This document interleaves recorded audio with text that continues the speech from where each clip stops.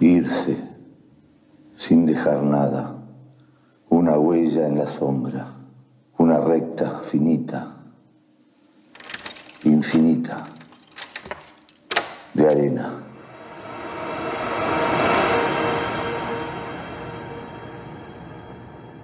Está aquí con nosotros Lorenzo Quinteros, actor, director, dramaturgo, podemos decir también iluminador. Has hecho de todo en teatro en, cuanto a actuación. Sí. Y mm, eso me lleva a considerarte de alguna manera eh, lo que ocurre con pocos artistas, ¿no? que son de algún modo el origen del arte que producen. Lo que me permite preguntarte, para vos, ¿cuál es el, origen humano de la actuación? ¿Qué te llevó a vos como persona a actuar? Yo creo que hay, eh, en mi caso, el origen estaría en el deseo de ser, aunque parezca un poquito grandilocuente, pero hay un deseo de ser. Salir de esa timidez de un chico que tiene miedo de, de hacer cosas más allá de las que debe hacer. Me parece que eh, ese sería un origen bastante complejo, habría que, se lo puede redondear por todos lados, digamos, ¿no? Yo recuerdo, por ejemplo, eh, mi primera experiencia, que yo siempre la califico como experiencia, primera experiencia teatral, es, yo estoy haciendo un acto escolar, eh, tengo 7, 8 años, en el que bailo una samba, que es lo que yo hacía, porque estudiaba, estudiaba folclore en, en mi pueblo, y para salir, yo era muy tímido, muy, era un chico apocado, tímido. Para salir del común, de, ¿qué, es el común? Bailar una samba, una yacarera, eh, a esa edad es ponerse la bombacha famosa del, gaucho, tamaño chico, tamaño niño, este, sombrero, camisa, un paño al, cuello, y bailar la samba, ¿no? Este, yo para ser original dije, no, voy a, poner un chiripá. Y entonces salí... Fue casi tu primera apuesta, podemos decir. Fue mi primera apuesta y, claro, y después se convirtió en mi, primera actuación. Entonces salí a bailar eh, la samba en un escenario donde estaba casi colmado, de era un cine de pueblo, que se usaba de escenario de, la fiesta de fin de año de, la escuela. Estaba colmado de padres, primos, tíos, qué sé yo, la platea, ¿no? Y como dato paralelo te puedo decir que estaba muy aburrido, venía, venía medio aburrida la, muestra de esa, la, fiestita. Y este, salgo, a arreglar la samba y que ya no me acuerdo bien cómo se baila. Y en el, en el medio de la samba siento que se me... Me pongo un chiripá de grande, por supuesto, de un gaucho grande, no hay chiripá de chicos, claro. por lo menos no lo había ahí. Entonces un chiripá bastante grande, pesado para mí, y se me empieza a deslizar.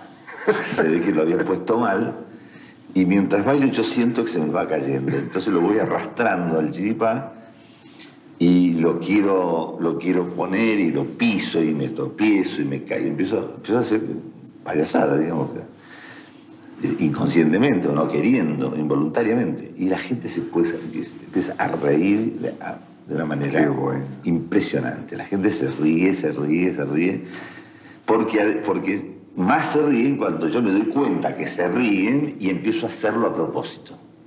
Empezás a actuar, podemos decir. Empiezo a actuar. Ahí empezás a actuar. Ahí empiezo a actuar. Yo soy consciente de que eh, me gustaba que se rieran y dije, bueno, entonces me voy a, pisar el poncho a propósito para caer. Y fue todo una, una, payasada absoluta. Y obviamente cuando terminamos, eh, aplausos y la gente, bueno, fue, fue muy festejado. Yo considero que esa es mi primera actuación. O sea, una actuación que la encuentro sobre la marcha, fíjate qué curioso. O sea, la primera actuación de mi vida y la encuentro sobre la marcha. Entonces, yo la asocio, ahora que soy grande y pienso y, tengo psicoanálisis de por medio, la asocio al deseo de ser. Un estar, y estar con una presencia mayúscula, es lo que creo que el teatro exige del actor, es estar, pero con una presencia importante, este, si el actor, eh, alguien que está en el escenario y bueno lo ve porque, porque está, actuando mal, digamos, o sea, está, no, no usa una, cuestión elemental del teatro que es estar presente. O poder desaparecer también, que es la contrapartida del estar presente, pero eh, la principal es estar. Y, yo estuve ese día, estuve eh, seguramente eh, desplazando a los compañeros, a los demás compañeros, porque la gente mira lo que, lo que le causa goce. Y esa experiencia es la que después provoca en vos la necesidad de continuar con el con Es una de las experiencias, yo no diría que es la única, porque fue tan de chico, pero yo la recuerdo como una experiencia, de, la primera experiencia de actuación. Casi fundadora, digamos. ¿eh? Casi fundadora. Casi fundadora. Y después, este, en cuanto había en mi pueblo alguna cosa que tuviera que ver con hacer algo para el público, ahí me metía. Eh, eh, otra fiestita también hice de, gaucho, ya no me pisaba el chiripá, porque ya aprendí que también hay que cambiar un poco. Pero, por ejemplo, se, hubo una banda en mi pueblo, una banda de música infantil, y me metí en la banda. Eso sí sabía, leí que habías empezado de muy chico, tocabas el trombón. El trombón. Eh, primero toqué el clarinete, tuve mucha mala suerte con, los maestros de música, porque primero toqué el requinto de clarinete, que es un clarinete chiquitito. Sí. Y, o sea que el clarinete es una digitación y una embocadura muy especial, que después te puede servir para el saxofón, pero para de contar. Me, fui de la banda una vez porque estaba enojado con el maestro y cuando volví el, el siguiente, hijo de puta, me puso un trombón. O sea que no tiene nada que ver, es otra embocadura, otra digitación, totalmente. Y me cagó, porque no, pude desarrollarme ni el clarinete ni el trombón. Claro, ¿cómo, cómo arrancás, aparte siendo un pibe con un trombón?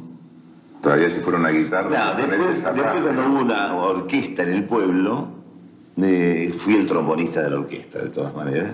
Ah, o sea que aprendiste, hiciste un camino. No, no, hice, un caminito, sí, pero lo dejé para, por la actuación. me estoy adelantando mucho en el, tiempo. Pero, porque una experiencia importante en la actuación fue que cuando se hizo una obra de teatro en mi pueblo, después, la dirigía, yo estaba en el secundario, creo que tenía 14 o 15 años, la dirigió el, el director del secundario, el doctor Zapene, me acuerdo este, amante del teatro, hizo obviamente el, eh, el, ¿cómo se llama? El caballito de batalla de todos los grupos de, los pueblos, que los árboles mueren de pie de casona. Y ese fue mi debut, yo diría, eh, formal en el teatro. Después vino el, debut profesional que fue en Buenos Aires cuando... Bueno, y ahí también trabajé. Y ahora estaba pensando, me estaba, estaba recordando cuando alguna vez me pregunté cómo fue, cómo fue el origen del teatro, o sea, cuál, cómo empezó. hay historias que hablan del teatro griego, de los coros y todo eso, pero pensaba en otro origen, yo, en un origen más. Como pensar quién fue el primero que actuó, una cosa así. Claro, ¿no? Eh, eh, lo, más primitivo de, este tema. Y yo creo que quizá, o se me ocurría en ese momento, que era eh, cuando alguien tenía que mostrar a la comunidad o a otros cómo había sucedido un hecho real ah. de importancia para la humanidad. Por ejemplo, suponete que una, una tribu ¿no? acechada por el bisonte, el famoso, la figura del bisonte, acechada por el bisonte, no puede vivir tranquila porque el bisonte le, los mata, les, les come cosas, les arruina la cosecha, yo qué sé hasta que aparece uno, de ellos, un hombre que descubre que, de alguna manera lo puede... Lo puede representar. Lo puede, primero lo puede matar al bisonte, lo puede ah. él enfrentar y, muchos, muchos mueren en el intento, ¿no? muchos van quedando en el camino. Pero hay uno que finalmente vence, porque descubre que la piedra o que el, o que el arco o, o no sé, o alguna una, una este, un elemento que pueda lanzar, lo, puede matar al bisonte, lo puede eh, eh, hacer caer en un pozo, qué sé yo. ¿no? Y, finalmente lo vence.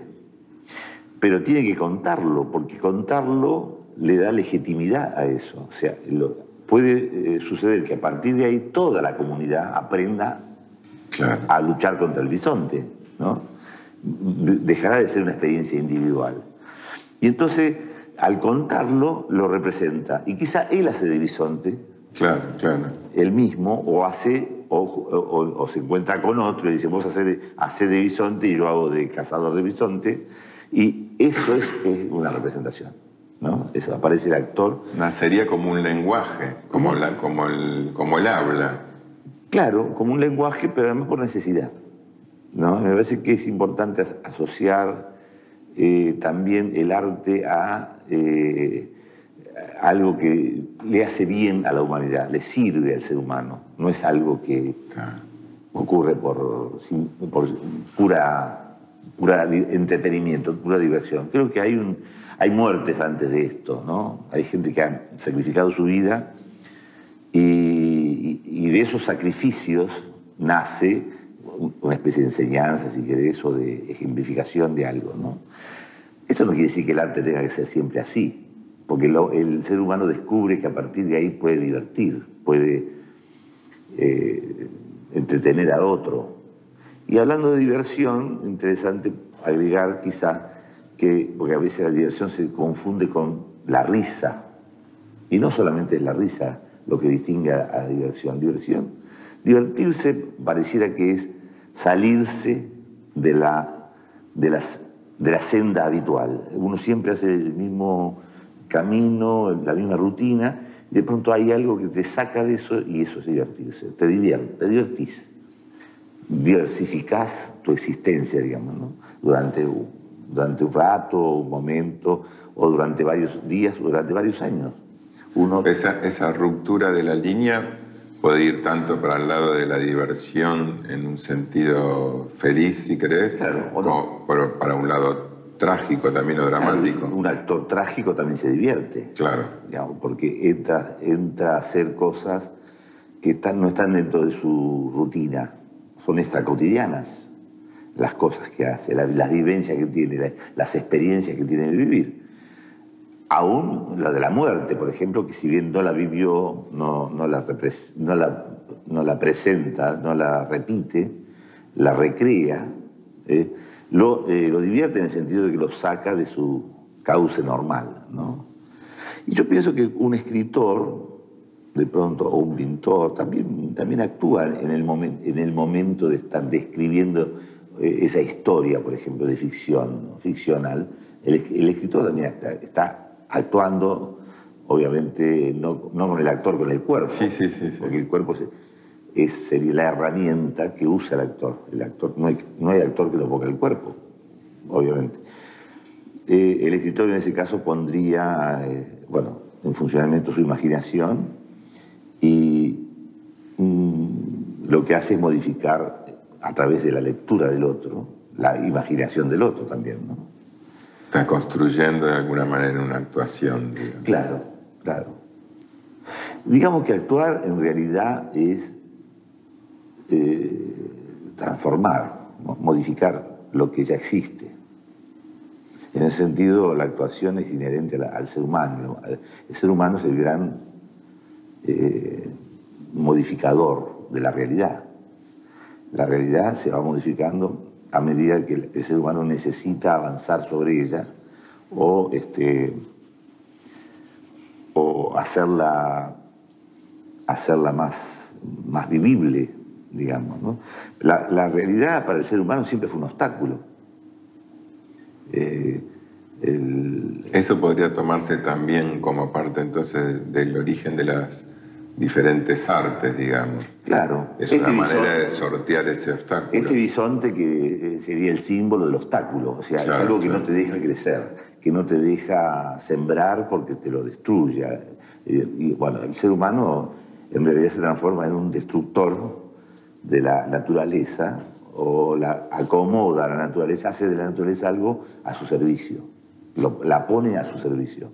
Destruye acá, construye allá, junta eh, cosas que, no estaban, que antes no se juntaban por propia naturaleza, él las junta a propósito, inventa animales, incluso hay, perros que son razas que no existieron por sí mismas, sino que el hombre las, las generó.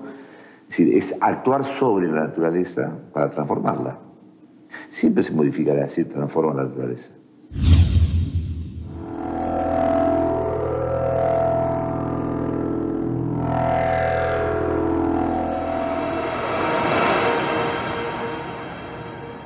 Pero entonces la sensación que me queda, o la conclusión eh, que puedo intentar ahora, es que fue el deseo de estar, el deseo de ser mirado,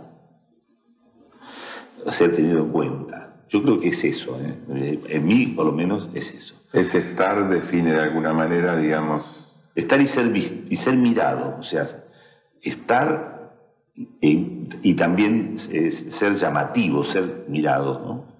Es, eso de alguna manera, digo, le, da un sentido también a tu ser en, el sentido más básico, más humano, digamos. Totalmente, totalmente. La pregunta que alguna vez nos hicimos todos, ¿qué estamos haciendo acá o para qué estamos? Ese hecho de alguna para manera... Existir, para ser, para ser. La actuación de alguna manera te refuerza eso. Para ser. Porque además yo era muy tímido, insisto. Es muy importante esto. Y muchos años después, obviamente, lo conocí a Olmedo y en una charla en un bar, él estaba en la barra, estaba tomándose un, un o algo así, y yo me le arrimé y le dije, maestro, yo lo, admiro mucho.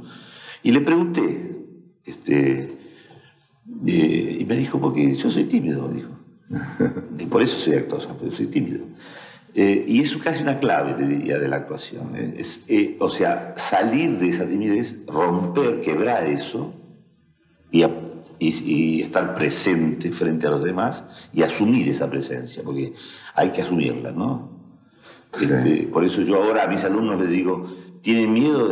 ¿Por qué no entran a la improvisación o a lo que sea? ¿Tienen miedo? Entren con miedo, porque no hay peor cosa que dejarse gobernar por el miedo para un actor. O sea, el miedo dice, no, no, no entro porque tengo miedo. No, con miedo entras. Al revés. Porque ese miedo lo pones en escena y se licúa, el miedo se transforma en otra cosa, ¿no? Se transforma en... Y a veces se transforma en una buena actuación, porque sacas lo que vos no conoces, o lo que nunca sacas. Eso me parece interesante. Después te, puedo hablar de otras asociaciones que yo hice con respecto a esto, porque muchos años después, me acuerdo, ya habiendo estudiado en Buenos Aires y haciendo una obra acá en Buenos Aires, vino a verme alguien de mi pueblo, Sí. Y fue, para mí muy impresionante, porque termino la, la función, salgo, me esperan en el hall y me dicen, sos igual a tu viejo. Actuando. Pero fue evidente que me, dijo, sos en el escenario igual a tu viejo. Y, y, yo tengo un mito de que mi viejo fue actor, sin embargo no fue actor. Pero yo tengo ese mito. Él trabajó, llegó a trabajar en un cuadro filodramático, se llamaban en los pueblos. ¿Sabes lo que es? Cuadro filodramático, una foto, una foto. O sea, se disfrazaban todos. una foto pero compuesta, digamos. Claro. De, por ejemplo, de la primera junta o, de los. No, él trabajó en una que se, fue la, la creación del himno nacional. Entonces había el piano, estaba eh, las paredes, estaban todos, todos ahí los, que se, supone que estuvieron, lo que la historia dice que estuvieron en la creación del himno nacional. Y mi viejo hacía uno de ellos, no sé, qué hacía, Linier, no sé qué hacía, eh, no, Linier no, ese paso, las paredes, no sé qué. Y la foto esa la guardó siempre, y fue una actuación. Claro. Una foto, así, poniendo pose. Entonces yo recuerdo a mi viejo como actor de alguna manera. Nunca lo fue. Fue futbolista más bien. Pero eso, bueno, es otra cosa también. Futbolistas también se, se, exhiben, ¿no? Y, eso es la forma de actuar también. Porque no nada. ¿Crees entonces eso que, digamos, si tuvieras que trasladar tu, tu, sentimiento personal en cuanto a esto que te digo de qué te lleva a actuar o por qué actuar, ¿crees que el origen, si querés, histórico de la actuación tal vez tenga que ver con eso también? con una necesidad humana de, estar, de estar presente. Yo creo que sí, yo creo que sí.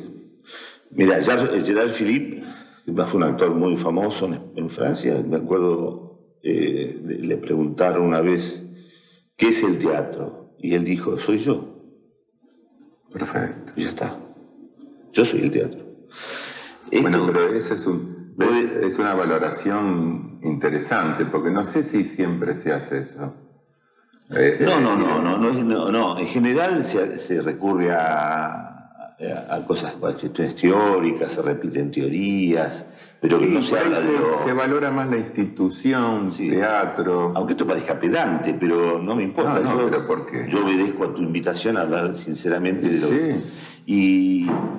yo creo que es así. Digo, puede ser personalista, digamos, no sé. Pero es, es así, digamos... Cuando Gerard Philippe eh, dijo eso, yo me acuerdo, todavía no había sacado esta conclusión de mi propia vida. Me, me, interesó mucho, claro, porque es, cuando uno está en el escenario, está pleno. El actor está, la persona esa que es el actor, está en plenitud en el escenario. Entonces, este, el teatro es él. Si él no está, no hay teatro.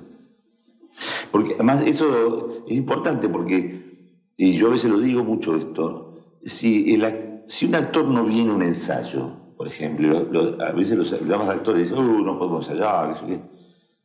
Se hace sin él. El teatro se hace con los que están. Eh, si hay si un elenco de 10 faltaran 8, se hace con 2.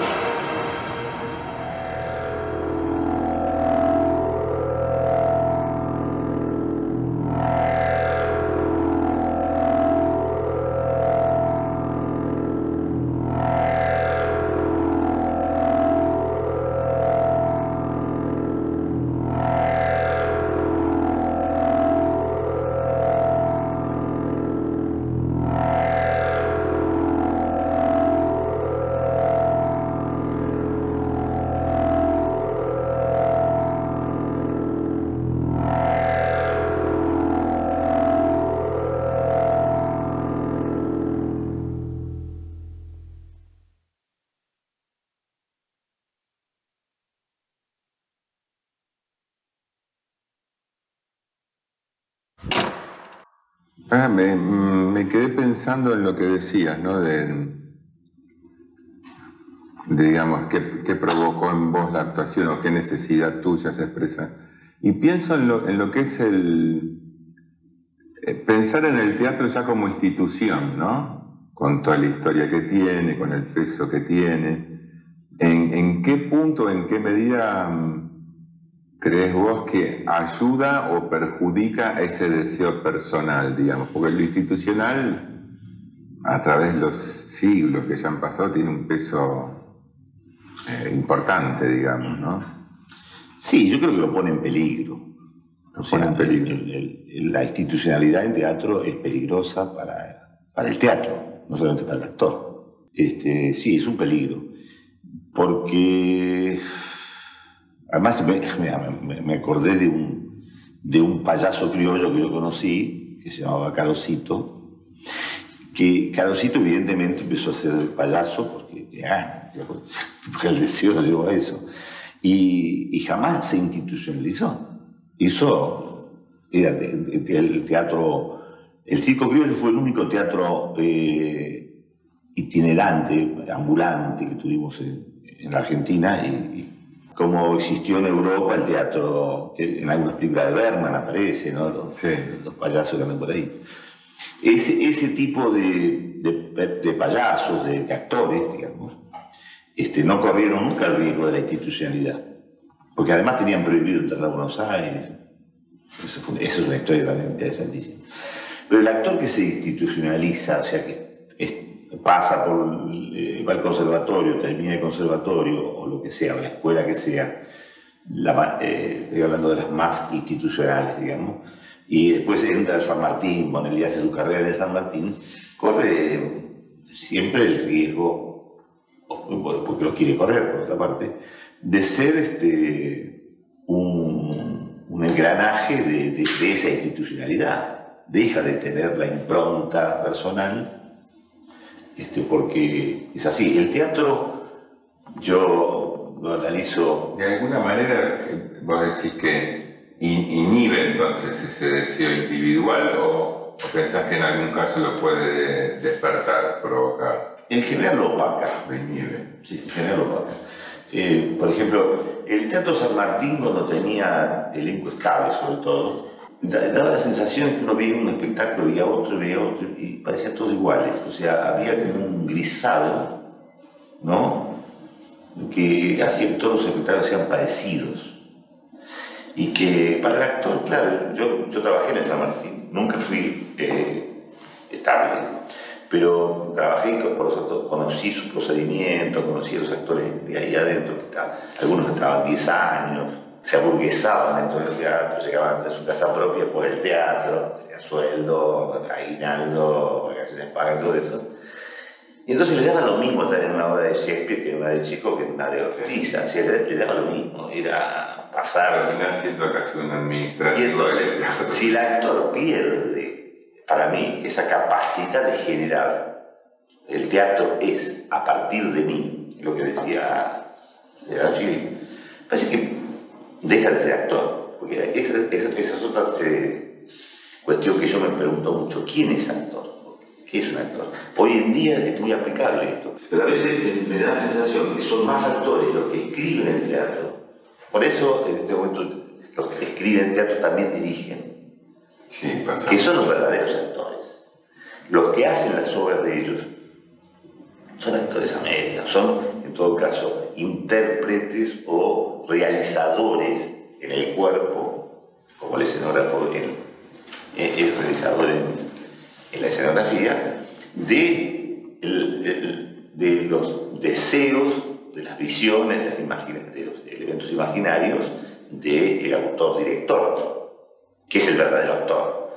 Porque actuar, ¿qué significa en última instancia? Significa, eh, yo creo, portar una acción y una acción no se puede definir de ninguna otra manera que no sea algo que modifica lo que ya existe. Por eso es una acción, si no, no sería una acción. Eh, eh, por eso la palabra acción se puede usar en muchas cosas, en política, en arte, en, fútbol, acción, lo que modifica. Eso es acción, y si no, no es acción. Si no es nada, es un, es un acto trascendente, digamos. Entonces, los, los actuales en la Argentina, autores, directores, son los verdaderos actores eh, del teatro porque son ellos los que modifican, los que transforman. Eh, hay actores que eh, se, acomodan más o menos a ellos de acuerdo a su nivel de obediencia. Y no lo quiero dejar solamente ahí, porque si no pareciera desdeñar esto. ¿no? También es el grado de eh, capacidad de captar el deseo de ese director-autor y transformarlo y llevarlo en su cuerpo. Digamos. El tema es si el deseo de transformar ese cuerpo está en él mismo o es de otro. Me parece que es un tema interesante a tratar. Eh, cuando se hace teatro oficial, teatro institucional, llamaría yo, el teatro se organiza de esta manera. Hay un empresario, llámese este, Lino Patalano o quien está, no importa si es sí, privado, o que decide qué se hace. Eso es lo primero. Eh, es parte del actor, ya está en el empresario. Eh, después, decir que se hace una obra de quién, de lo que sea, de Tennessee Williams. Bueno, la obra de Tennessee Williams eh, le asegura a ese empresario lo que, va lo que van a hacer los actores. Entonces les, dice, usted tiene que hacer esto. Pero antes de decir eso, les va a decir quién se la va a dirigir. O sea, hay una cadena, digamos, de producción que empresario, autor del texto, director y en última instancia los actores, que serían los ejecutantes del deseo de otro. Que lo pueden transferir, lo pueden convertir en deseo propio, claro. Es, no es que lo puede, lo tiene que convertir. Claro, claro. Hay que ser actor. Ser actor en el sentido de, acá yo planto bandera, hago, convierto una ficción ahora en este momento y todo el mundo me entiende. Sí, porque lo otro, la sensación también coincide en, no hacer una gran distinción entre lo privado y lo público, digamos. El actor, en realidad le pasa, pasa en muchas artes, ¿no? Pero termina siendo un numerito más, digamos, ¿no? Es una cajita que ya está cerrada y bueno, para que esté completa tiene que haber tres o cuatro adentro. Yo lo hice mucho eso también, ¿eh? pero hay el gran, el, gran problema, y está, no problema, es que alguien tiene que hacerse cargo de que eso, eso funcione aceitadamente. Y es en general la producción pero vos decís, o sea, ¿hay, ¿hay alguna manera para vos que esta cosa institucional que tiene todo el peso histórico que yo podría funcionar bien, digamos? Funciona, sí. Si vos agarrás, tenés, o sea, ¿cómo se organizó el teatro institucional?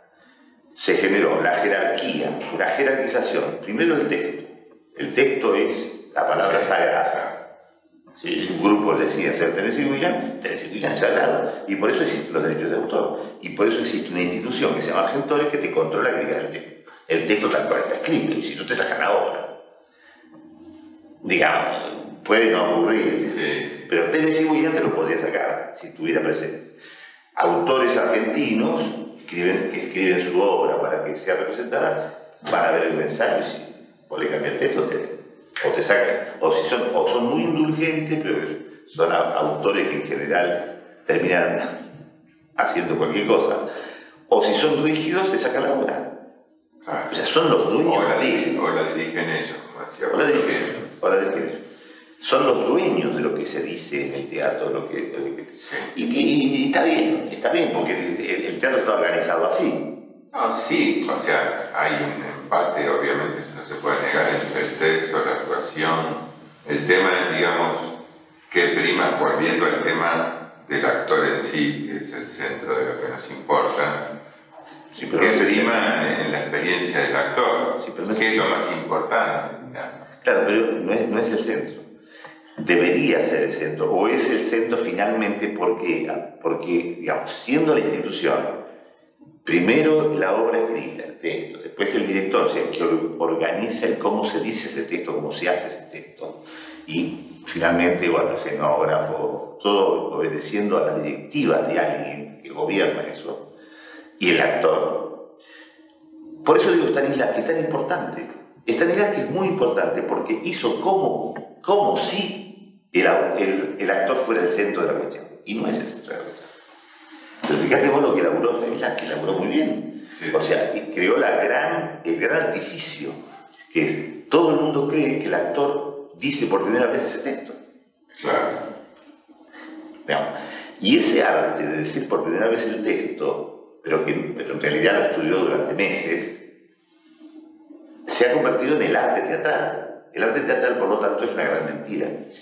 Eh, claro que lo es, pero quiero decir, esto uh, se, ha, instituido. Entonces, eh, si el actor estuviera improvisando el yo creo que el teatro eh, es fantástico donde el actor lo hace siempre por primera vez, ¿no? Siempre. Aunque, aunque lo, de alguna manera sea la, obra que, estudió, pero siempre se da un permiso de maniobrar, digamos, es el, teatro que está vivo y, a mí más me interesa personalmente. Bueno, a veces eso es algo también que me resulta interesante saber, eh, vos por tanto por tu experiencia como por lo que empezamos hablando, ¿no? Lo que yo creo que te, ha llevado a actuar, que es una necesidad personal, humana, digamos, que es también, si lo institucional, o la institucionalidad no solo, como decíamos antes, ¿no? en el sentido de las empresas privadas o el Estado, sino en el peso histórico-cultural. ¿no? Si crees que eso, porque yo veo que en el teatro hay margen para esas cosas, ¿no? pero si crees que eso limita un poco em, la posibilidad de riesgo, de improvisación, que hablabas antes, la búsqueda, que debería ser, uno cree, debería seguir siendo eh, uno de los centros más importantes en cualquier arte, ¿no? O sea, buscar cosas nuevas. Aún haciendo en el caso del teatro Shakespeare, puedes hacer Shakespeare y hacer una búsqueda nueva igual en eso. No, puede, se puede, no, de ninguna manera lo limita, ya. Pero además, insisto, el, el actor sobre todo, ha sido educado y es formado para que el texto, que es un gran incordio para todo actor, y, aquel que lo desmienta está diciendo cualquier miente, el, el, actor eh, cuando tiene que estudiar textos, esos textos largos, esos choplazos, esos autores que escriben largo, es una, es una tortura estudiar todo eso para, para, para después poder ir y hacer teatro y actuar. Primero estudiar todo eso y después actuar. Eh, es una verdadera tortura, sí, eh, pero eso no se puede evitar. En el teatro que está basado en la palabra escrita y que por lo tanto es básicamente literatura llevada a escena. Por ahí el tema ahí sería si hay alguna manera de que el actor se apropie igual de ese texto. Claro, pero en eso consisten los métodos. El método consiste en apropiarse entonces hay varias maneras, eh, cómo se estudian los textos. Eh, el público Cuando termina una obra y vos tenés un choclazo así, te preguntas, ¿pero cómo hizo para aprender tanta, tanta letra? Y vos le explicás, bueno, que no es cuestión de aprenderla como un loro, al alumno también hay que decírselo, estudiarlo con la acción, la acción te va llevando al texto, hay un montón de... Pero el texto hay que estudiarlo de todas maneras. Hasta el punto de que hay actores que creen, y no me parece mal, que primero hay que estudiar el texto y después una vez que lo tenés bien incorporado, te olvidas de él. Entonces sale solo asociado a la acción física. Si la acción física te lleva a, qué sé yo, a, herir al otro con lo que estás diciendo, el texto se incorpora mejor. Si vos la asocias a la acción física. Este, son artilugios, digamos, son todos artilugios, pero mm, artísticamente hablando, es como si yo le dijera a le preguntara a Van Gogh, ¿cuál es el momento más, más interesante de, tu, de, de tu Y te dice, cuando pinto. ¿Qué te dice? Claro. Cuando compra el cuadro, no, es cuando él pinta. Eso es lo más interesante. Cuando un actor dice, ¿qué, cuál, qué es lo mejor? Y yo digo el ensayo, cuando uno está ensayando, cuando uno, improvisa, cuando metes un poco de texto de Shakespeare y otro poco tuyo y mezclas todo, ese es el momento más gozoso del teatro para el actor no cuando está estudiando, estudiando el texto. Eso no, es gozoso ni, ni a es una tortura. Eh, ahora, se dice, y, pero un teatro de improvisación siempre es mucho más débil y, e inferior al, nivel poético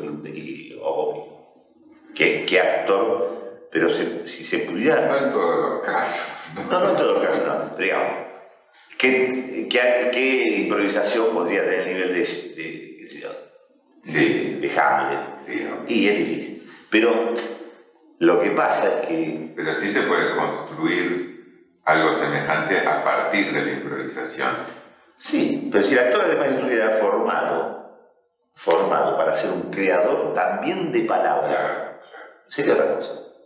Nadie sería Shakespeare, pero, sí, pero te digo más eh, la obra que estoy haciendo en este momento, Tesores Mariposa, que es producto de improvisaciones, obviamente, además todas las noches no, es exactamente lo mismo, casi todas las noches es el 90% lo mismo, un 10% que se mueve en la letra. El, público eh, de ese teatro, de, ese, lo que ve como poética, lo que se siente como poética, lo que aplaude, lo que ríe como, como poética, no es lo que decimos sino la situación. Entonces, el decir, la palabra, es, es, secundaria. Es un elemento más. Es un elemento más, es, es un elemento sonoro más. ¿no? Es el vínculo que tiene un actor con el otro, cómo un actor seduce al otro, cómo lo, lo, lo transfigura, lo convierte en su esclavo, cómo lo, lo, lo, apulea. ese es el momento, el, la, el espectador goza de eso, no de lo que le dice. Lo que le dice es circunstancial. Uno puede seducir a una mujer, digamos, un hombre puede seducir a una mujer diciendo que es hermosa, linda, preciosa, pero también le puede, la puede seducir diciéndole, sos una pavota. Pero depende del tono en que se pasa. Y ella dice, decime pavota de nuevo que me encantó.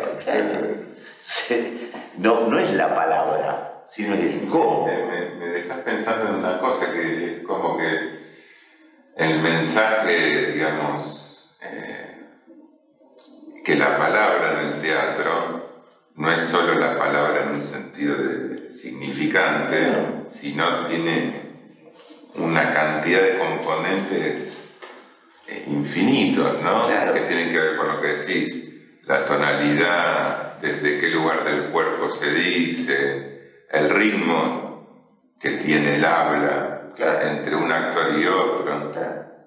Ahora, eso es algo que se trabaja, que algunos por lo menos eh, en el teatro nuestro se ve que se trabaja con intensidad, digamos.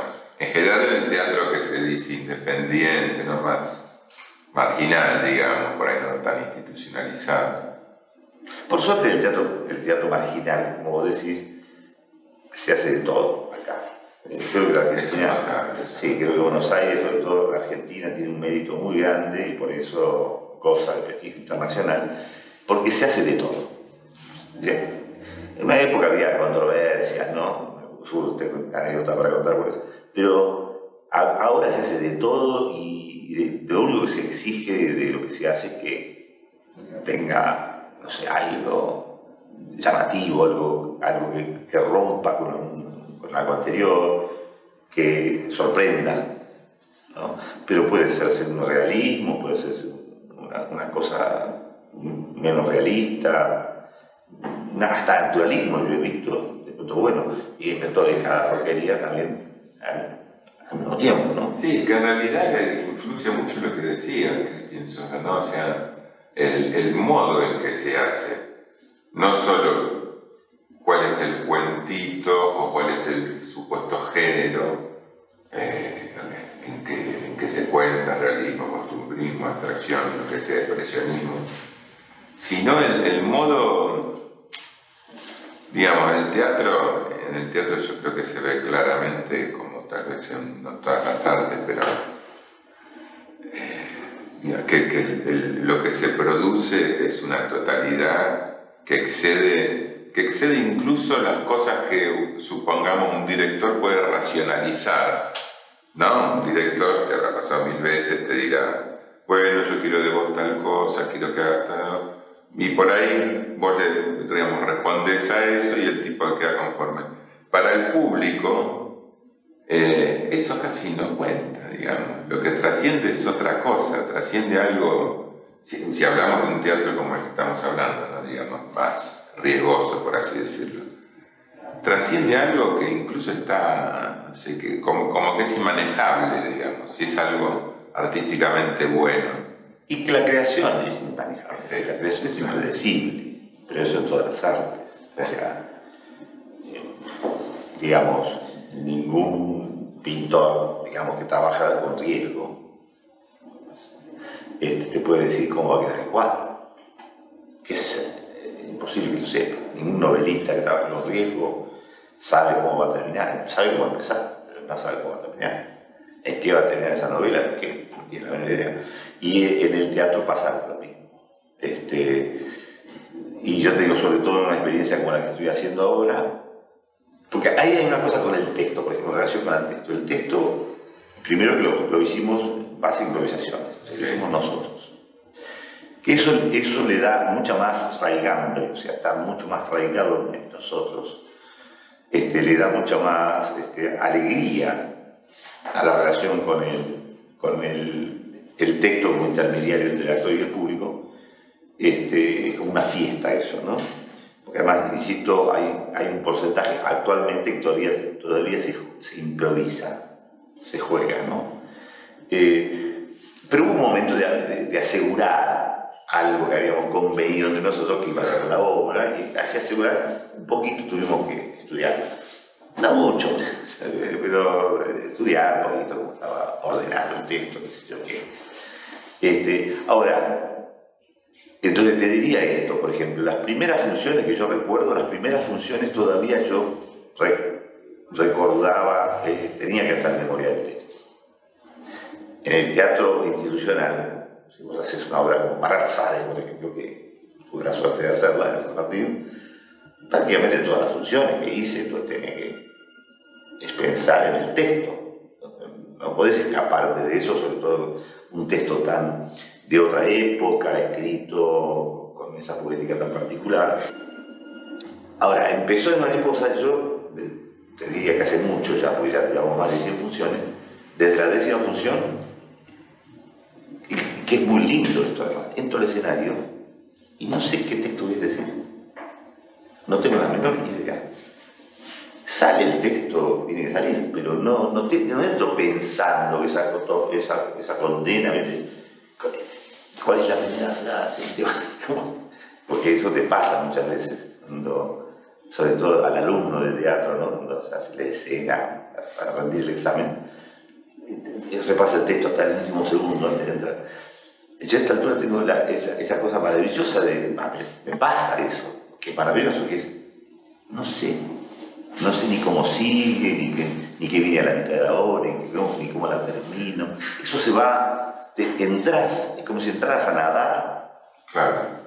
Y ahí te das cuenta de cómo es el agua, si está fría, si está caliente, si tiene eh, que un barro, ¿no? Esa es, la, la, situación ideal, ¿no? claro. Eso, por eso te digo que el Van Gogh, el momento grandioso es cuando pinta.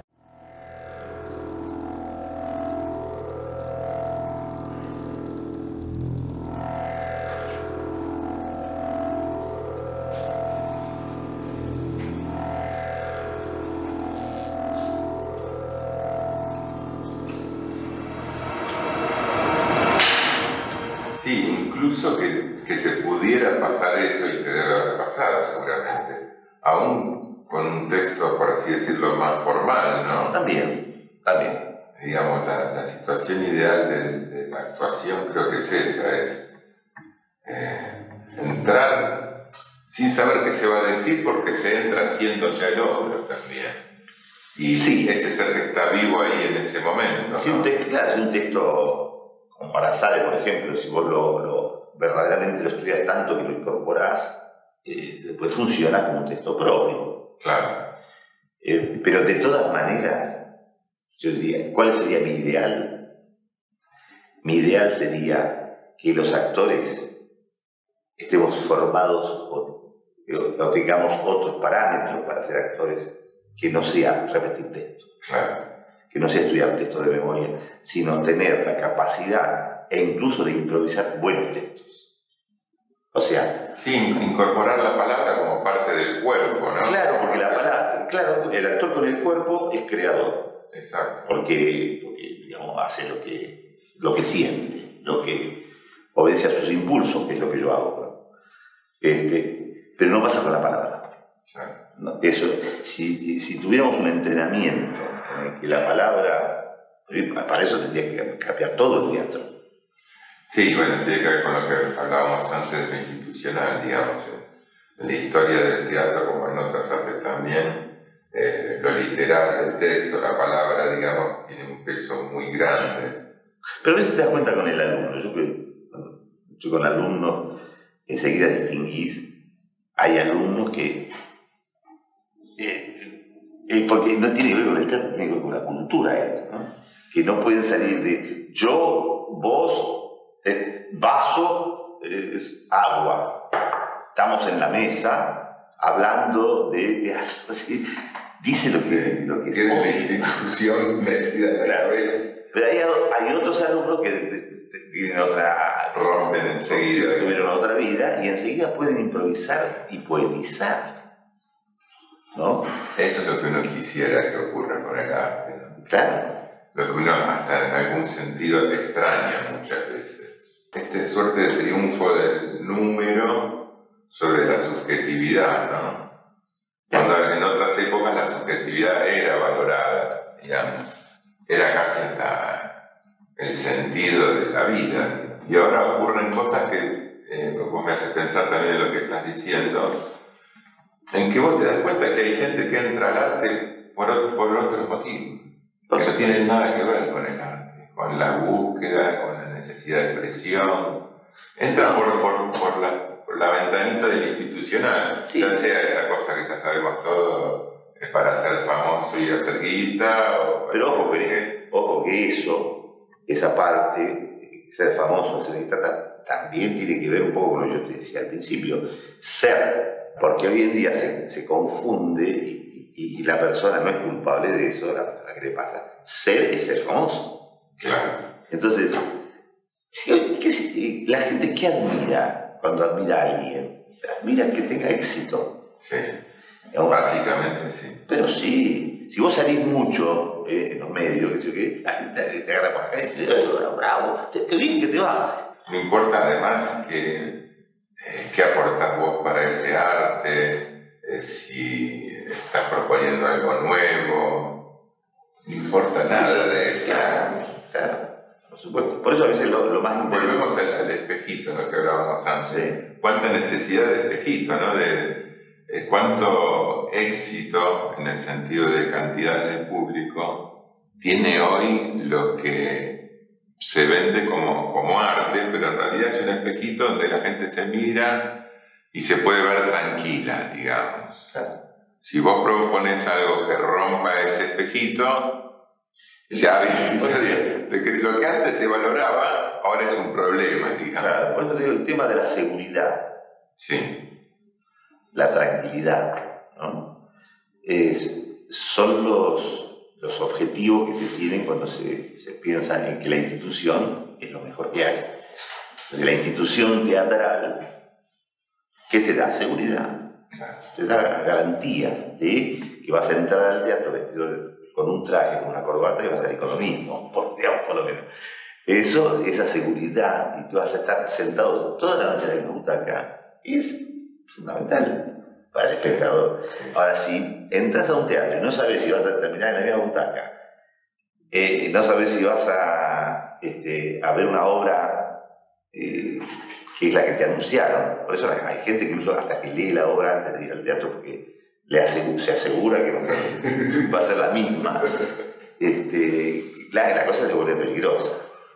¿no? Es tremendo, es tremendo. Cuando antes el peligro era lo que se valoraba, ¿no? Pues, fue, una, fue, una, temporada. fue una temporada. Pero eh, eso te quería preguntar también, digamos, ¿qué, qué dentro del teatro específicamente, ¿no? ¿Qué, ¿qué, búsquedas posibles crees que hay o te interesan a vos hoy? ¿Qué, qué posibilidades de experimentación, de, de riesgo hay abiertas todavía? No, hay, hay bueno, el tema que eh, puede pasar por la creación grupal. La creación grupal es interesante porque tiene mucho riesgo, o sea, nunca sabes si vas a terminar en algún, lugar aceptable o va a ser una porquería lo que haces. Eh, eso, eh, todavía esa, esa actividad tiene riesgo, porque es el autor, llamamos, llamamos autor al que escribe los textos, este, los actores que también son autores en ese caso. Es decir, todo lo que hacemos el teatro, estamos iniciando, cuando empezamos el proyecto, un, camino que no sabemos cómo termina. Y no sabemos ni siquiera si va a terminar. A lo mejor no termina. A lo mejor a la mitad decimos, esto vamos por ningún lado, una pavada total, dejémoslo, tiremos, tiremos la toalla.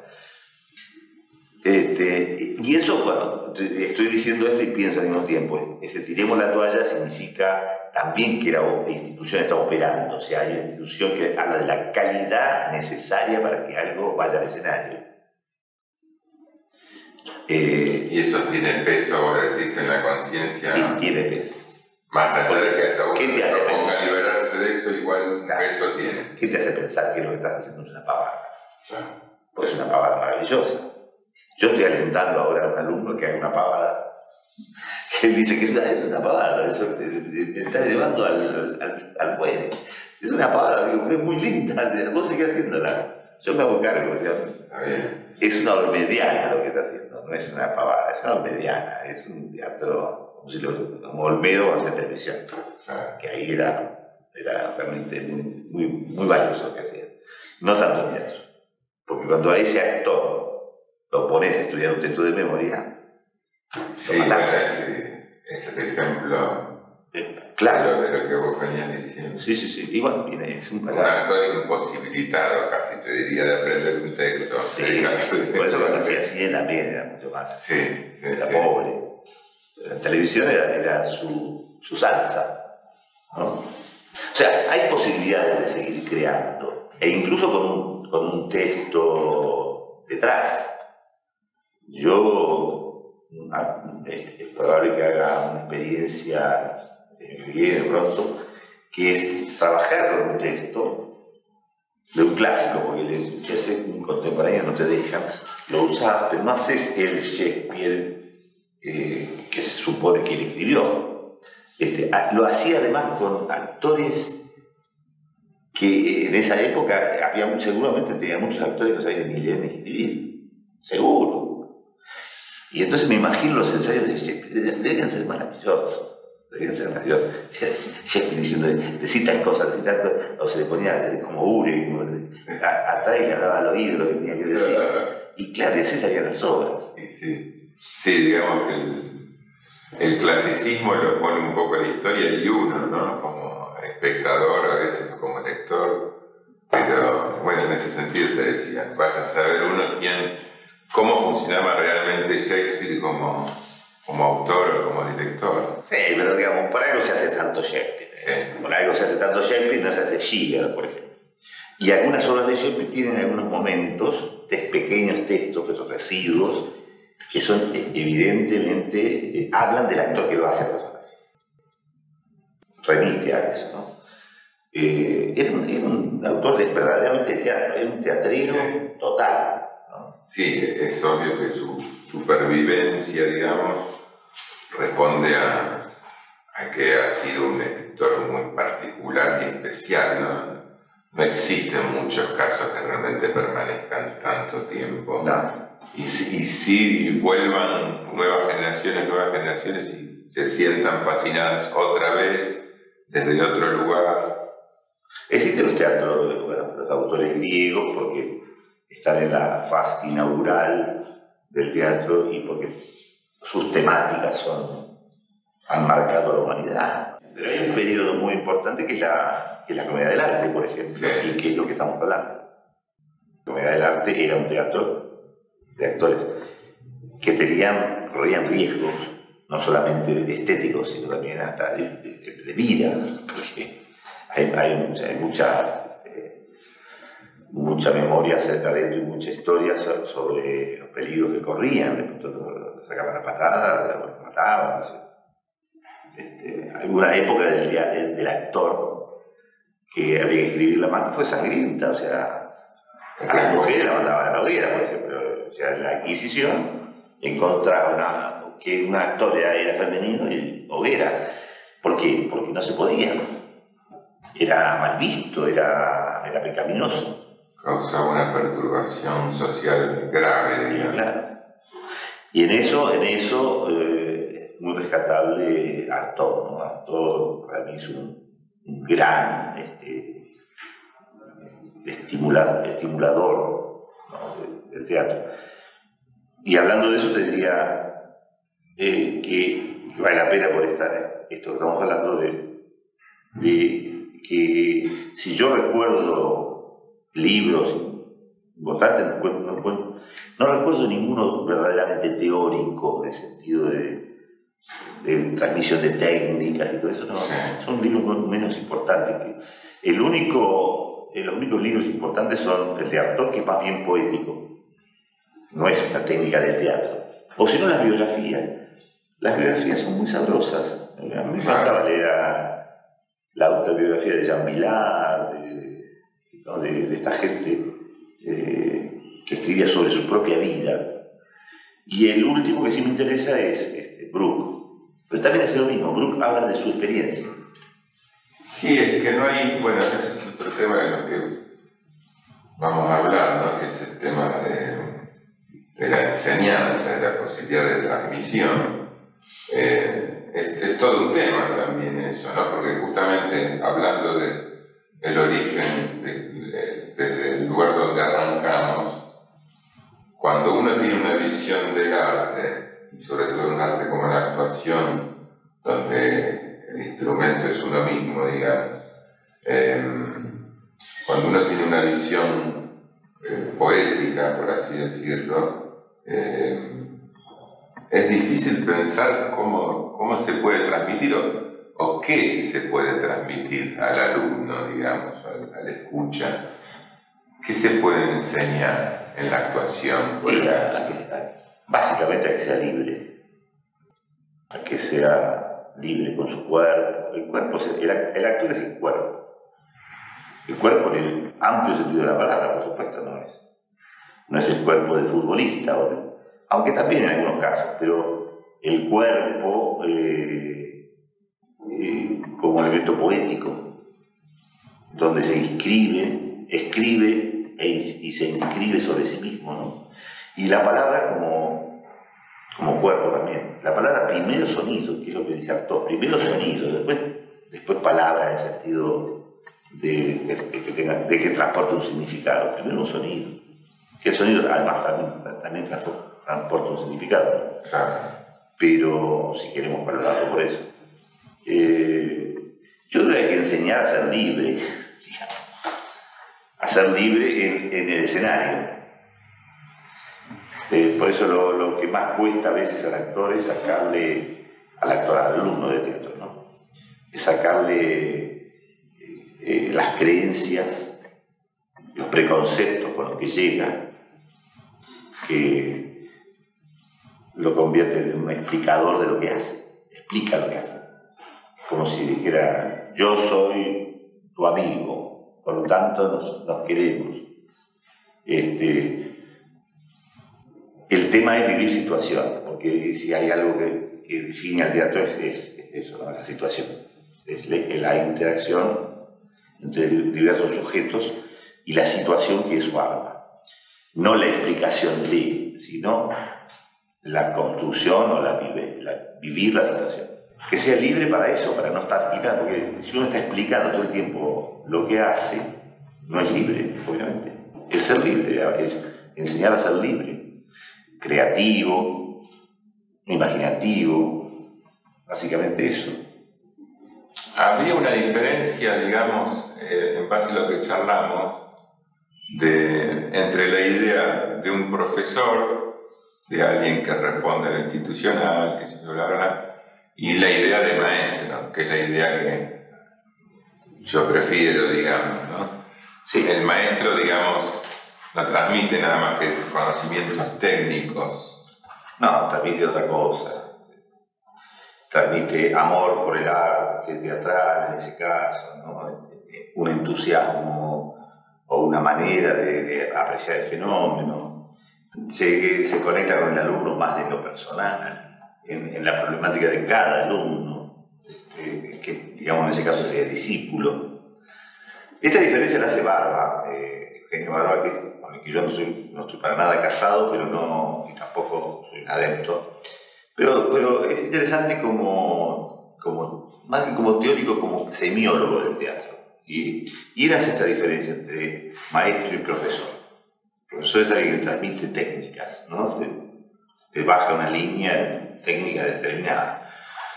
Eh, por eso en los, conservatorios este, que dan las, las clases de actuación son profesores tienen su programita que siguen. Como que el alumno no lo elige. En cambio, al, al, al, maestro sí lo elige el alumno. Este, o se eligen mutuamente, ¿no? que es lo que más suele pasar. Este, y el maestro en realidad es el que te, el que te bautiza también, ¿no? te dice esto es lo tuyo, no es lo tuyo, o lo tuyo es por este lado y por este lado. El profesor te enseña técnica, es una metodología que se transmite tal cual. En el teatro actual ambos son necesarios, digamos. Hay momentos que es necesario el profesor y hay momentos que el maestro es fundamental, tener, conocer, tener un maestro, ¿no? Eh, yo a veces, cuando, recuerdo, ya no lo leí hace mucho, pero cuando leía a Stanislavski, este, cuando él enseñaba, que al mismo tiempo investigaba, porque el maestro investiga todo el tiempo eh, debía hacer clases extraordinarias y era un maestro, era un maestro, o sea, era alguien que se planteaba la actuación desde cómo te sentás en la silla, simplemente, ¿no? si estás relajado, si no estás relajado, si estás pensando en otra cosa, si estás pensando en la silla, si estás pensando en, por qué te sentás. Si es ese tipo de... Que, si el maestro está involucrado en, el vínculo, eh, es un maestro, precisamente. No te dice el cómo, si no te dice el, qué en todo caso. que es muy importante esa diferencia en el teatro. Eh, si alguien te dice el cómo, ya eh, te dice cómo, cómo se debe hacer. Eh, y todavía es una, es una pedagogía que existe, ¿no? Mucha gente enseña el cómo, te transmite el cómo, cómo lo harían ellos, o cómo se debería hacer. Y el cómo se debería hacer es totalmente eh, adocenado de por sí. El, el, verdadero maestro es el que te, enfrenta al, al, riesgo, a lo desconocido, eh, y te deja aprender por vos mismo el recorrido. Claro. Eso es lo importante, ¿no? Te ayuda a descubrir claro. tu actor, si es que lo hay. Claro. Esa es una pregunta también. A ver, ¿siempre lo hay? Yo creo que sí. Yo tengo la tendencia a pensar que sí. Lo que pasa es que el actor, eh, que también como dice Barba, es, un, es un ser humano en realidad. Sí. Que lo único que lo diferencia del ser humano es que vive eh, situaciones extracotidianas. Eh, en escena lo que se vive es una situación extracotidiana. Pero es una persona en realidad, es un, es un ser humano. entonces, pensar en la formación integral de un actor, habría que pensar también en cómo vivió, cómo lo educaron sus padres, cómo recorrió su infancia, su adolescencia. Hay gente que llega a los, a los 25 años ya totalmente acorazada, o sea, bloqueada. Entonces hay la labor de un profesor o maestro de teatro es desbloquearlo y eso puede llevar toda la vida. Y hay gente que llega a los 20, 25 años dispuesto, bien, bien dispuesto, así que tuvo una formación en su propia vida este, propicia. Este, y ahí cambia todo, ¿no? Pero yo creo que todo el mundo puede. A uno le va a llevar 50 años de estudio, pero el otro le va a llevar nada, porque, ¿no? Eh, es como en el, en el, fútbol se ve esto, el pibe que nace con la pelota pegada al pie y, y, hay otros que no, que tienen que aprender, agarrar, y, y nunca la llevan pegada al pie. Y eso es determinante, creo, digamos, la, la naturaleza de esa persona es determinante. Y en, cierto, sentido, en cierto sentido sí, hay, digamos, hay actores que están más, más dotados. Eh, porque tiene que ver con lo primero que el actor es el, cuerpo, como decíamos antes, pero es un cuerpo sensible, un cuerpo lleno de sensibilidad. Eh, y te digo más, un cuerpo inteligente.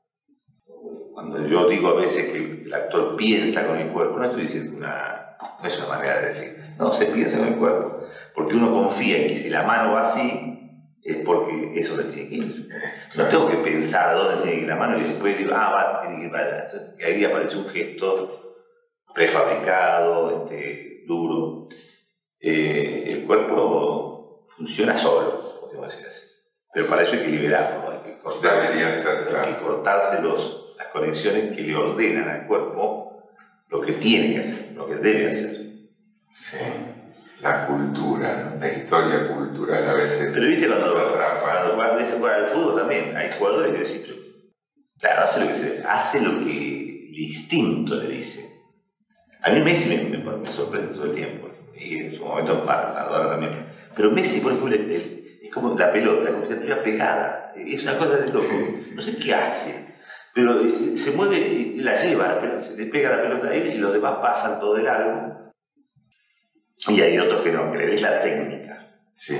Y son buenos técnicos, ¿eh? No, no, sí, lógico. Pero, pero siempre llama más la atención o, no uno tiende a mirar más cuando alguien es natural. el actor pasa lo mismo. El, actor a veces cuando te sorprende, cuando te traslada, te saca de este mundo y te lleva a otro mundo así, haciendo así, es porque la tiene pegada. Claro. Y hay otro que le ves la técnica, le ves la técnica y dices, bueno, me olvido de la técnica y, veo lo que quiere contarme. Entonces, pero ah, te, obliga a un esfuerzo, una especie de trabajo, ¿no? En ese sentido. Y con otros actores no, la cosa sale, sale fácil. Y desde el lugar de la dirección, em, en algún sentido hay, ¿Hay cierta continuidad con la idea de enseñanza o es algo que se diferencia totalmente? ¿Se entiende la pregunta? Sí, sí, Para mí, modo de ver, se diferencia totalmente. Porque el, el profesor, el maestro, te ayuda a ser actor, te abre los, caminos para que vos mismo descubras qué es ser actor, qué es ser, cuál es tu actor. Este, dirigir no, dirigir es hacer una obra de arte total, donde el, actor ya se supone que ya es actor. No tenés que, de que ya es. Sí, no tenés que enseñarle a, porque si no es un solo de trabajo. Eh, son dos cosas distintas. Cuando uno enseña, incluso a veces, y hay, este, a veces eso crea controversias entre los alumnos, este, porque alguien te viene y te dice, pero ¿cómo no me exigís tal cosa y aquel que, es un, zapallo no le exigí nada? Pero hace lo que puede hacer el zapallo. El zapallo está haciendo lo que puede hacer y hay que ayudarlo. A que sea zapallito, a que de a poco va haciendo, ¿no? Eh, que avance como zapallo. Eh, eh, y eso es muy difícil. Es muy difícil. generalmente, un error que comete el profesor de teatro, para mi modo de ver, no tener eh, relaciones personales con los actores, o, tratar a cada uno como una, un individuo, como un proceso, este, y masifican la enseñanza, ¿no? Este ejercicio le viene bien a todos. No, hay ejercicios que le vienen bien a uno y, a otro no. Hay procesos y procesos. Y eso me parece que distingue la enseñanza de, de la dirección. La dirección eh, digamos, si un actor no lo puede hacer, no lo puede hacer. Habría que reemplazarlo. Siempre partís, digamos, cuando te propones dirigir, partís de tener actores que contan con que sepan hacer lo que van. No siempre, no siempre lo logro. Claro. Digamos, Pero partís de que sí, digamos. Sí, uno parte de la base de, de armar buenos elencos.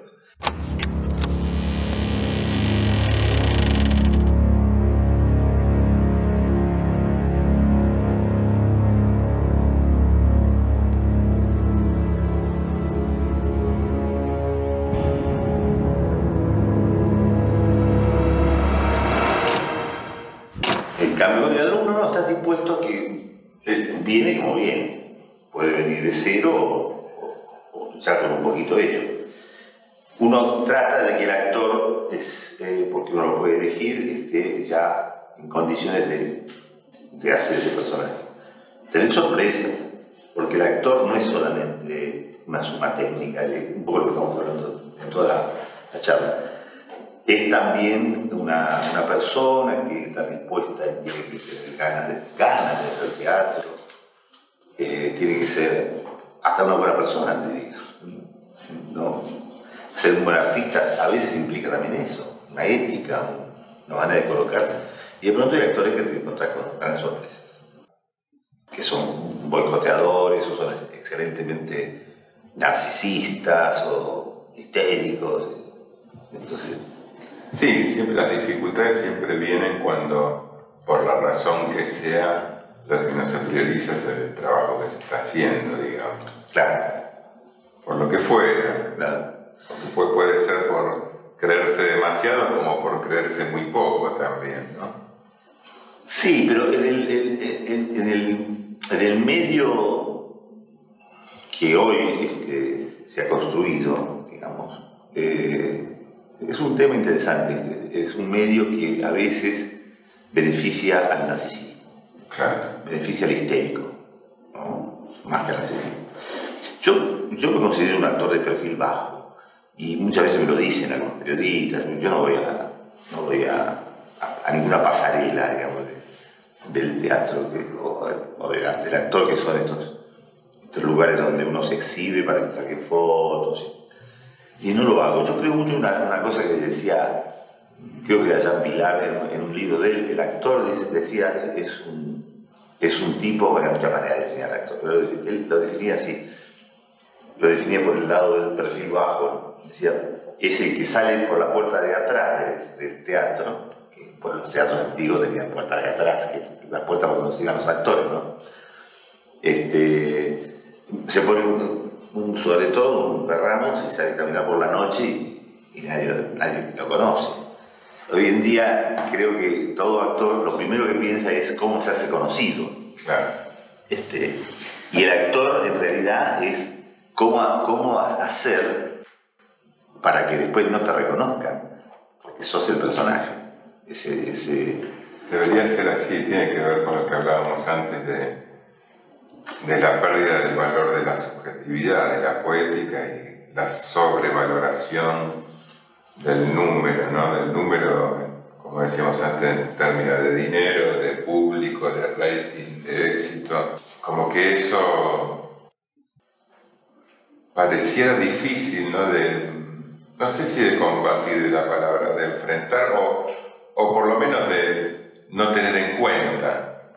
Porque de algún modo, para producir, aunque sea una obra de teatro, supongamos, independiente, y conseguir algún tipo de apoyo, algún reconocimiento en el medio que, que, estás tenés que tener, ¿no? Aunque no sea, aunque no, seas... Este... Sí, pero podríamos decir que hay reconocimientos y reconocimientos, ¿no? Pero hoy en día se privilegia eh, el éxito. El éxito. El éxito por sobre todas las cosas. Y al mismo tiempo el éxito tiene que ver con cantidades. Claro. Con cuánto vendes, cuánto te El éxito es cantidad. Cuántas veces sale por pantalla, cuántas veces... Porque por lo menos podría ser el éxito, pero con un valor un poco más poético, digamos. Sí, pero no. el valor más poético sería eh, que vos, ¿qué querías hacer vos eh, con, tal material? Eh, llegar a tal fin, bueno, llegaste, es un éxito. Aunque no te vaya a ver nadie. Claro, es un éxito si vos lograste lo que procurabas, ¿no? Pero estamos en una sociedad de consumo cada vez más, cada vez más. Yo creo que el capitalismo está llegando ya a su, estado pre-explosivo. Y, este, y también se da en, el arte, ¿por qué no? Este, los, pintores, los pintores necesitan, para ser conocidos, necesitan vender. Eh, por eso resulta fantástico o casi de otro mundo la vida, vidas como la de Van Gogh y cosas así. Con los actores pasa lo mismo. El actor se vende todo el tiempo, como jugador de fútbol. Sí. Y eso jode bastante nuestro trabajo, ¿no? Y en, cuanto a, hablando un poco de lo que hablábamos al principio de todo, esta cosa que has hecho muchas veces de no solo dirigir sin hacer la cuesta, etcétera, sino también eh, encargarte por ahí de armar las luces, el, arte que haya en escena, incluso influenciar, aunque el texto original sea de otro, influenciar en la dramaturgia. Ahí hay una búsqueda distinta, hay una expectativa distinta puesta en juego, eh, es más o menos, la raíz es más o menos la misma, es la misma que te llevó a actuar. Y sí, sí, pero no se puede hacer siempre.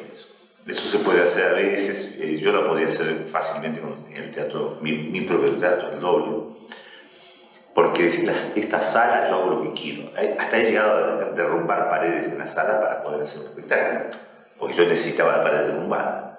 Y entonces eso solamente lo puedes hacer en tu sala. Eso me voy al Cervantes y digo, hay que derrumbar la pared. no, me, me saca corriendo. Este, y es, muy, muy interesante eh, esa, esa tarea de dirigir cuando vos la, le pones todos los elementos también, la, luz, porque vos no dirigís solamente al actor, dirigís también cómo está iluminado ese actor, eh, qué tiene detrás ese actor, etc. Yo hay cosas que sé que no, que no sé. No sé, por ejemplo, vestir a la gente. No, no tengo ese, ese don. Entonces siempre tengo un vestuarista o, vestuarista, hombre o mujer, Con la escenografía me parece algo parecido, salvo que la concepción de la obra sea, por ejemplo, una pelada. Entonces hay, hay una concepción escenográfica, pero ya necesito el escenógrafo. tengo que poner pared o tengo que poner alguna cosa así, sí, ya bueno. Pero lo que tiene que ver con la luz, sobre todo, y te diría más, hasta con el los, los sonoros, el sonido, si, es que hay que hacerlo, este, aunque cada vez creo menos, en eso, este, me, gusta hacerlo a mí mismo. Y yo recuerdo experiencias muy lindas eh, cuando hicimos, por ejemplo, mm, Pinter, el cuidador, que también rompí con pared, y puse la luz yo mismo, y usé un pasillo que daba camarines. Eh, fue una, una, tarea muy linda porque eh, si bien el, director actúa a través de sus actores, o actúa a través de la luz, o a través de todos esos elementos, este, cuando vos te metes más con la puesta en escena como producto final, este, verdaderamente estás actuando, pero la manera quizá que actúa el pintor sobre la pintura. ¿No? Actuar es eso, es transformar, dijimos al principio. Entonces, cuando un pintor tiene un lienzo blanco y, lo pinta, que lo o sea que lo transforma. Y cuando un director puede hacer todo eso, hay un interés más estético, más y Sí, sí, es, más, es total, es hacer un trabajo total. Cosa que en el teatro comercial o oficial es más difícil hacer. Que también es, eh, pienso ahora, una manera por ahí de, que, ocupe más espacio en el mundo, digamos. En el fondo hay una intención así, ¿crees? O, o es simplemente un laburito, digamos? No, yo siempre pienso que el arte es algo que uno le agrega al mundo. El mundo no lo tenía. Uno agrega eso al mundo. Es como una mujer cuando un hijo agrega un habitante al, mundo. Este, cuando un artista hace una de arte, agrega al mundo algo que no, existía. Le inventa un objeto más. Claro.